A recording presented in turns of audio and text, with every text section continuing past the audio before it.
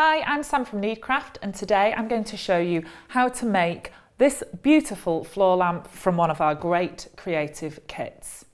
So, first of all, we'll just have a run through what's in the box and what you get as part of your kit. So first of all, we have these rings. This is the base ring. And in here, you'll see that there's a circle. The outer circle is for a European fitting.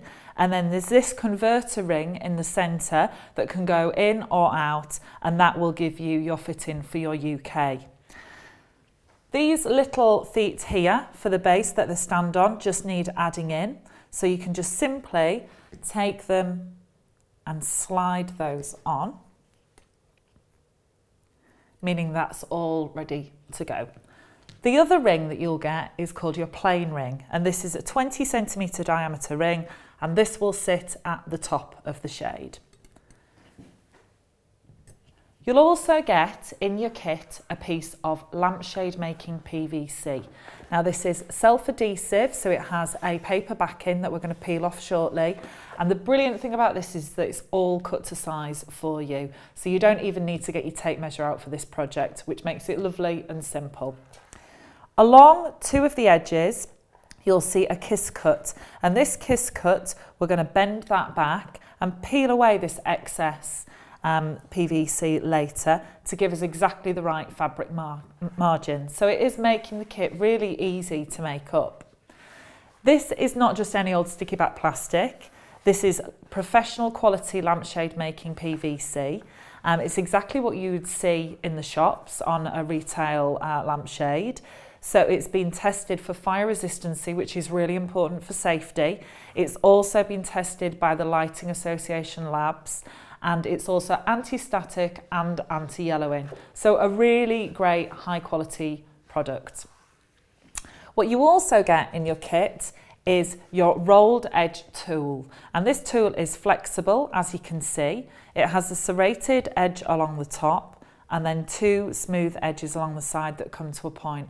And we're going to use that right at the very end of the demonstration to get this fantastic clean edge along the top and took all our fabric underneath and out of the way, giving us a really professional finish.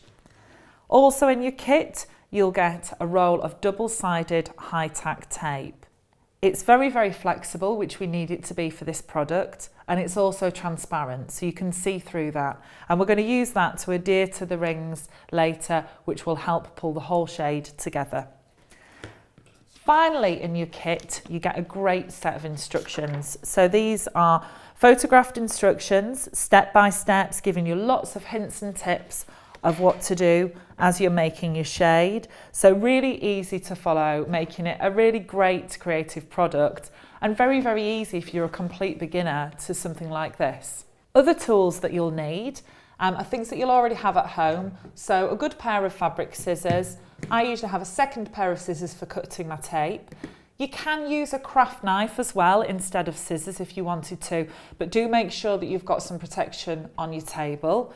And then we've also got a seam roller. And the seam roller is fantastic for pushing down the seam where the two parts meet at the back. And you'll see me using that later on as well.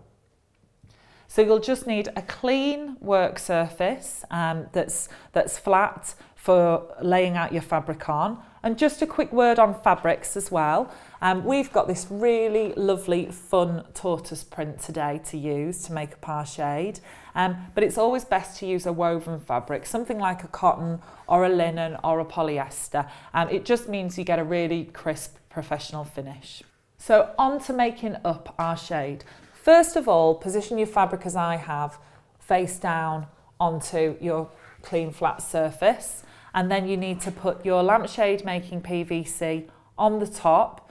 Um, this you need to put down with your, your backing face down on top of it. And with this particular fabric, as you can see, it has a direction.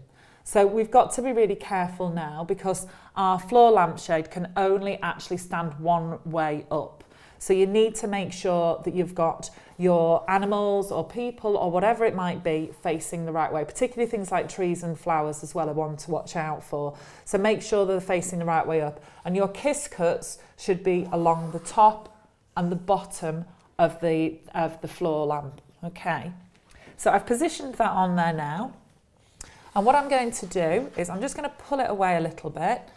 What we need to do is just peel back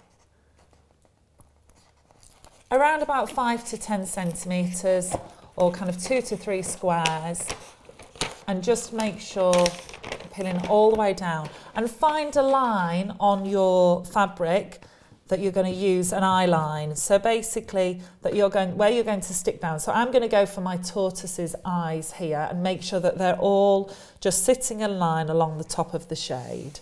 So I'm just going to stick that down. Just pull that back a little bit.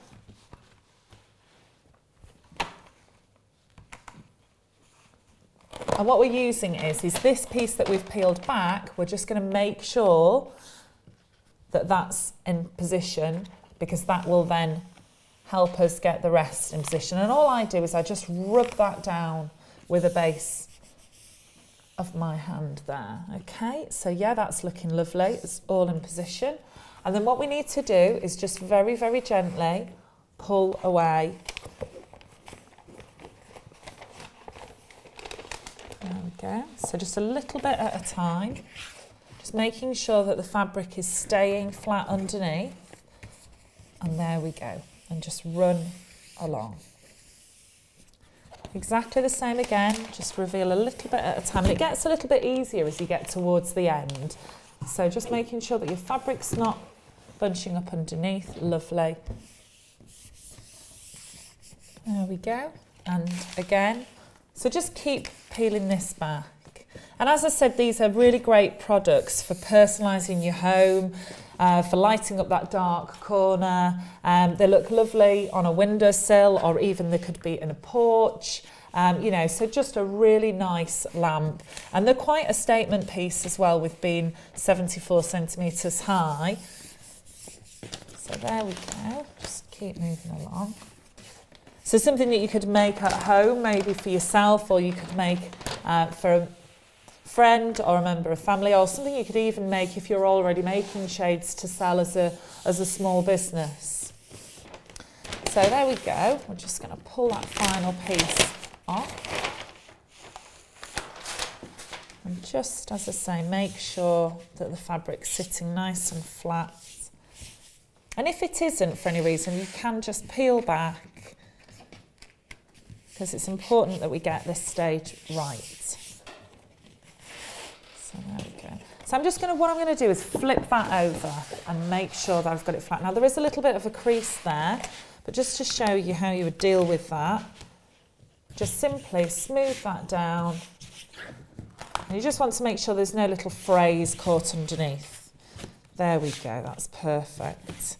So that's all sat down really neatly. Lovely, I'm really happy with that. It's a really nice, bright, colourful fabric that's going to look really good. Okay, so I'm just going to turn that back over. Okay, and I'm just going to take my fabric scissors. Now this is where you could use a craft knife and all you would do is just cut along the edge of the PVC. So you're using the PVC as a guide really. I prefer to use scissors because I feel more comfortable with that. So we're literally going to take our scissors and just cut there we go, neatly along the edge.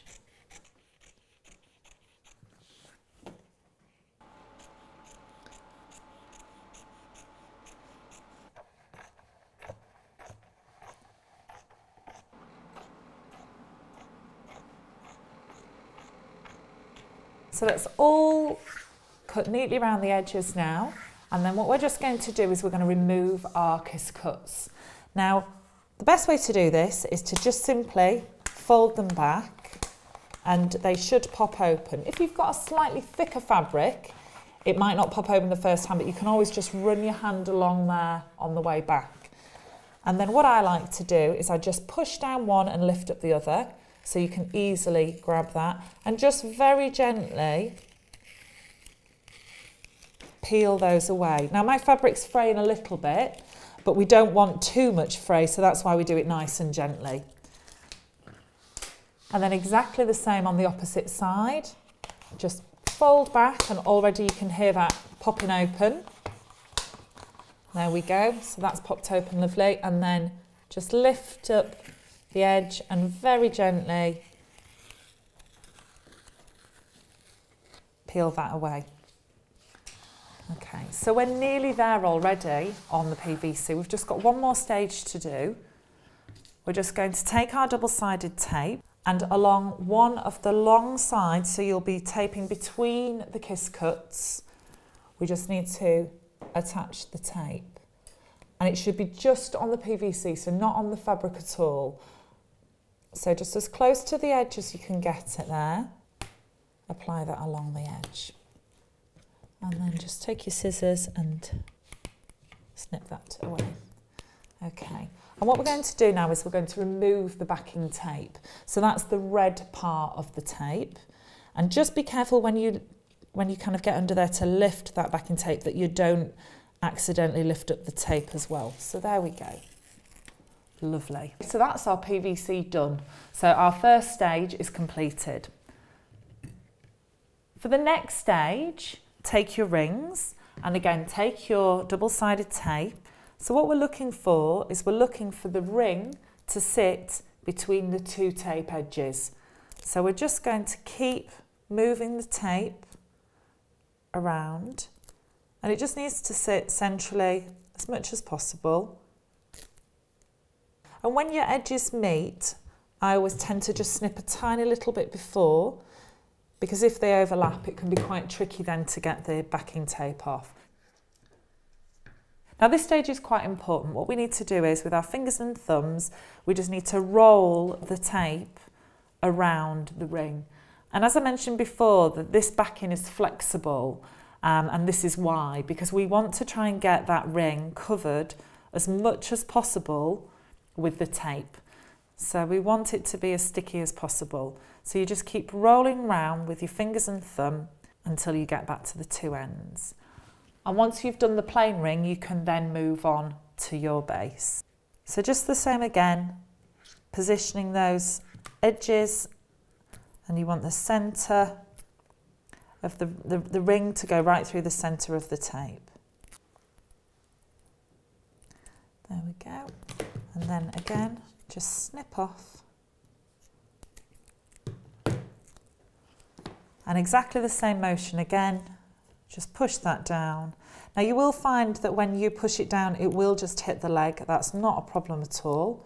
So we're just exactly the same motion. We're just making sure that we get as much of the tape around the ring as possible. There we go.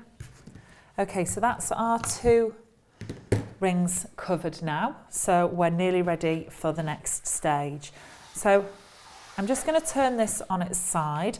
So you should have the taped edge of the PVC away from you, okay? And first of all, I'm just going to remove the tape from this one because then I can pop it back on the table. So just find again your two edges and peel off the red backing. And then we're going to do the same on this ring. Now, it's just important at this stage that you make sure that you put your rings in the right positions because obviously we've taken care to make sure that we've positioned our PVC right. We don't want our tortoises to be upside down on our floor lamp. Okay. There we go. So I'm just going to check on my tortoises. So this is going to be my base and this is going to be the top of my floor lamp. So I'm just going to change those round. And what we're going to do now is we're going to adhere these onto the PVC. So they must be on the PVC, not on the fabric. So I'm just going to do this ring first. So you just position your ring right onto the edge of the PVC. And then with this one, just be careful of the legs. You really don't want the leg to be here on your seam where the two uh, pieces are going to meet. So just position it so that it's in the centre of one of the openings between the two legs. Exactly the same again, position so it's on the PVC and just a little bit away from the edge. And what we're going to do is we're going to roll. So take your time with this um, and just concentrate. I tend to look at one ring at a time, rolling a little bit at a time. There we go. And you can already see that the tape is doing its job. I can let go of that and then I can start rolling from the top. So we're just making sure that our rings stay on track. If they don't, you can hear that. Just peel them back a little bit and go again. And we're just going to keep moving them on, making sure that they both stay on track.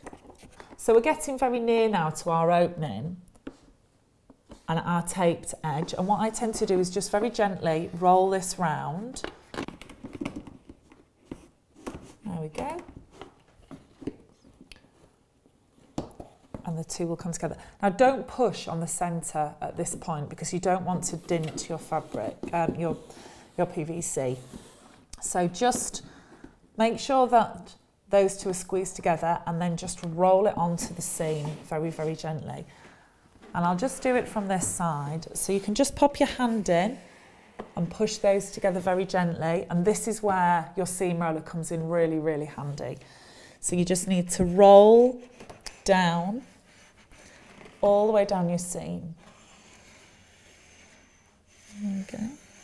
And then from this end, you can do the same. Just pop your hand in there with your seam roller and make sure that that seam's adhered. So it's really now starting to look like our finished shade. So for the next stage, we need to prepare the top, ready to tuck our fabric underneath. So before we do this, I'm just going to lay this back on here so you can see that you have an overlap of fabric. And that overlap of fabric, we want to take away a little square from out of the inside. So just taking your fabric scissors again, you just need to simply cut in and cut away that small square. And it's just so that you don't have two layers of fabric overlapping there. And then I'm going to do exactly the same on the opposite side as well. So just cutting in there.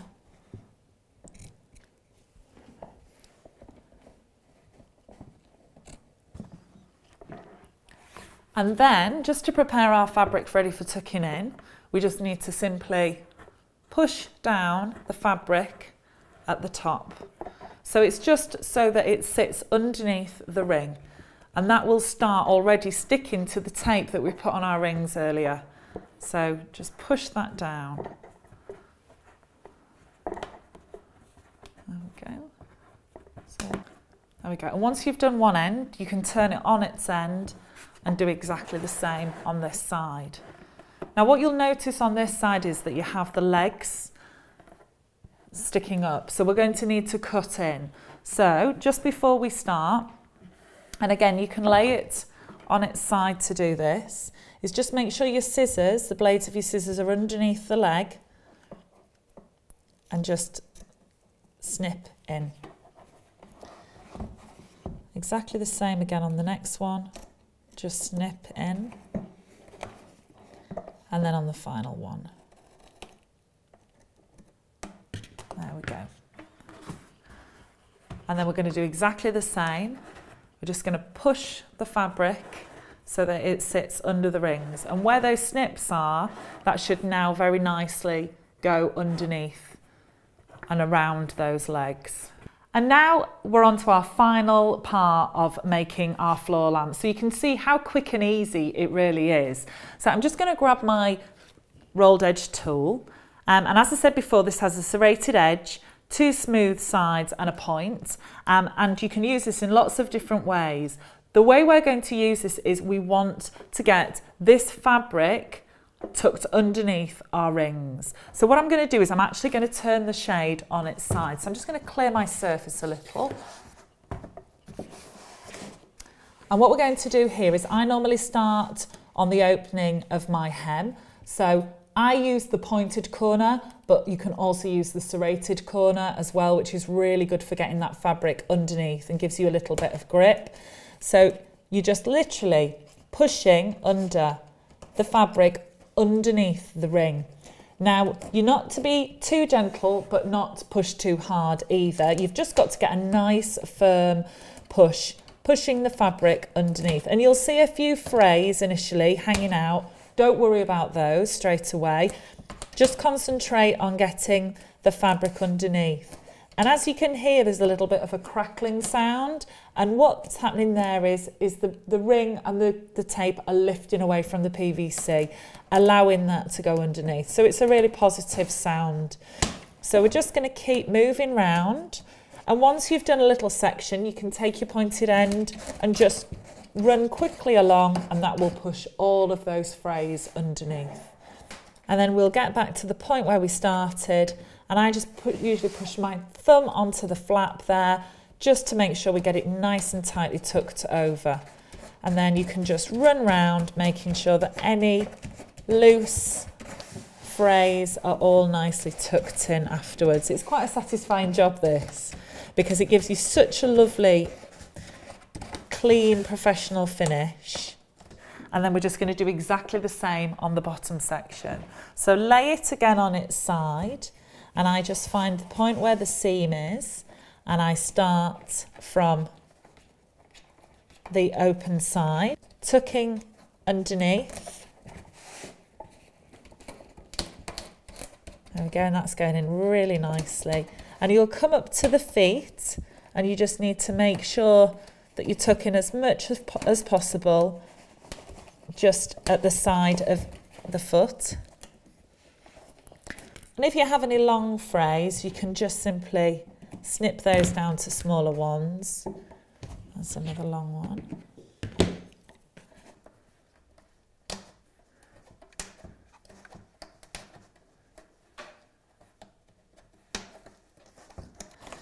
So we're just going to finish that off and tuck all our last frays in. So just before we put stand it up, we're just going to have a look at the electrical fittings. Um, we have a UK fitting that we're going to put in. So um, this is our UK fitting, but we also have European fittings available. And these need to be bought separately to the kit, but you can also buy them from us at Needcraft. So make sure you pop one of those on your order. Okay, so you simply just take off the skirt of the fitting and again, this is just similar to as you would do if you were fitting a shade at home. Pop that through the hole, reattach the skirt until it's nice and tight there, okay? And then I'll just get my bulb, just a bayonet bulb, fit that in in the same way. Okay, and that's in there. I'll just get my electricity supply. And there we have it one finished shade, which I'm sure you'll agree looks absolutely fantastic. So these are brilliant for personalising spaces at home. You could use any fabric of your choosing. Brilliant to make for gifts for friends or family or also a fantastic product to make and sell um, if you wanted to sell these um, on, on various craft websites or sell them at craft markets. So a really, really great product. I hope you've enjoyed watching this today and that we've inspired you to get creative with our kits.